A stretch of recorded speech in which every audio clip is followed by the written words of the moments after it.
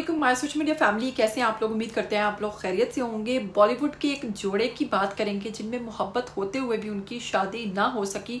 क्या ऐसा खौफ था कतरीना कैफ के अंदर कि कैटरीना कैफ ने जो है शादी ना की रणवीर कपूर से? और क्या इनके दरमियान ऐसे मसाइल थे और वो कौन सा खौफ था? जो छः साल एक दूसरे के साथ रहने के बावजूद ये दोनों जो है शादी ना कर सके। और क्या थी इनकी मोहब्बत और क्या इनकी अलहदगी की वजह बनी? बहुत ही हैरत अंगेज़ इनकशाफात किए हैं। जी हाँ बात करेंगे कतरीना कैफ की और बताएँगे कि किस खौफ ने इन दोनों जोड़ी को एक ना होने दिया। जबकि आप लोग जानते हैं कि ये एक बहुत ही फ़ेमस और मकबूल तरीन जोड़ी थी, जो कि इस वक्त बॉलीवुड पे सबसे ज़्यादा पसंद की जाती थी। लेकिन उस वक्त क्या ऐसा हुआ कि इन दोनों की शादी ना हो सकी, जबकि ये दोनों मंगनी के रिश्ते में भी, मंगनी जैसे रिश्ते में भी ये लोग बंधे हुए थे। लेकिन कौन सा खौफ था जिसने कतरीना कैफ को रणवीर कपूर से अलग कर दिया और रणवीर की ज़िंदगी में आलिया भट्ट की एंट्री कैसे हुई? और जनाब, अगर बात करें कतरीना कैफ की तो इनकी ज़िंदगी में विकी कुशल जो है, उनकी कैसे आमद हुई तो आपको बताएँगे आज की वीडियो में। लेकिन अगर आप लोग चैनल पर नए हैं तो जल्दी से चैनल को सब्सक्राइब कर लीजिए, बेल आइकन को प्रेस कर लीजिए, ताकि आपको आने वाली वीडियोस के बारे में पता चलता रहे। तो आपको बताएँगे कि कतरीना कैफ ने अपने एक इंटरव्यू के दौरान इस चीज़ के इंकशाफात किए थे, जब उनसे पूछा गया कि एक वक्त था कि जब बॉलीवुड पे सिर्फ़ और सिर्फ़ कतरीना कैफ और रणवीर कपूर की जोड़ी जो है वो पसंद की जाती थी लोग इनको पर्दे पर एक साथ देख देख कर हकीकी ज़िंदगी में भी इनको एक साथ देखना चाहते थे और ये जोड़ी 2016 में एक दूसरे के इतने करीब आ गई कि हर वक्त ये दोनों एक दूसरे के साथ दिखाई देते थे और इससे बहुत सारे लोगों को इस चीज़ की यकीन हो गया कि इन दोनों के दरमियान कुछ तो है और इन दोनों की मंगनी भी हो गई। और लोग जो हैं वो ये चाहते थे और वक्त भी इनके साथ था, हालात भी इनके साथ थे और लोग भी इनके साथ थे। लेकिन फिर क्या हुआ कि इन दोनों की शादी ना हो सकी? तो जनाब मज़ीद बात करते हुए कतरीना कैफ ने बताया कि वो डरती थी रणवीर कपूर से, क्योंकि रणवीर कपूर की अगर बात करें तो आप लोग जानते हैं कि वो एक बहुत ही खूबसूरत आर्टिस्ट हैं और थोड़े से फ्लर्टी भी हैं। तो वो कहती हैं कि मुझे ऐसा डर था कि शायद मैं जब मंडिप में शादी कर रही होंगी तो वहाँ पर जो रणवीर है वो मेरे साथ होते हुए भी मेरे साथ नहीं होगा। और मुझे ये डर था कि शायद वो मुझसे सिर्फ़ वादा निभाने के लिए शादी करेगा। लेकिन वो दिल से मेरे साथ नहीं होगा।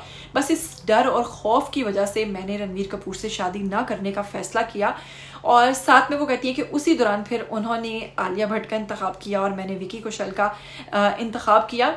उसमें दूसरी जगह पर उन्होंने एक और खौफ को ज़ाहिर किया, जिसमें आते हैं वालदेन। उन्होंने कहा कि अगर बात करें रणवीर कपूर के वालदेन की तो वो भी इस चीज़ के सख्त खिलाफ थे और उनकी, हम दोनों की शादी में जो मर्ज़ी है, वो शामिल नहीं थी।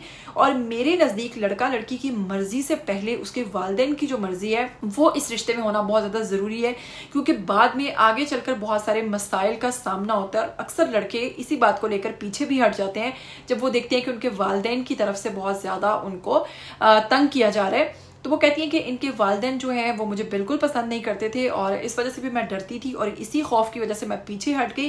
लेकिन आपको बताऊँ कि अगर बात करें रणवीर कपूर की और आलिया भट्ट की तो इनके मामला में भी सेम केस था कि रणवीर के वालदेन जो हैं, उन्हें आलिया भट्ट बिल्कुल पसंद नहीं थी और वो इसके बहुत अंगेज थे।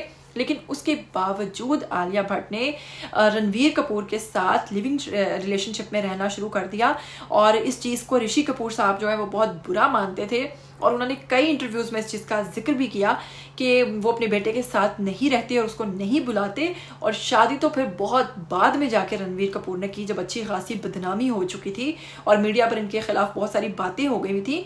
तो इससे साबित होता है कि कतरीना कैफ जो है वो कितनी अच्छी और एक ख़ानदानी लड़की थी। उन्होंने इन चीज़ों का सामना ना करना पड़े। इसके लिए उन्होंने अपने रिलेशनशिप को ख़त्म करना पसंद किया। और अगर आप आलिया भट्ट की बात करें तो उन्होंने तमाम तर चीज़ों को देखते हुए जबरन शादी की।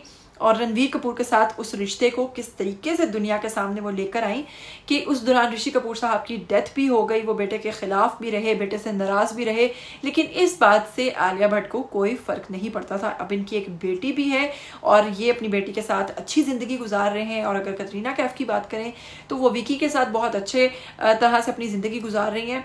छः साल एक दूसरे को डेट करने के बावजूद कैटरीना कैफ और रणवीर कपूर जो है, इनकी शादी ना हो सकी। क्या कहेंगे इस जोड़ी के बारे में, जो कि 2016 की आपकी फेवरेट तरीन जोड़ी थी और एक ना हो सकी? क्या इन दोनों ने सही डिसीज़न लिया?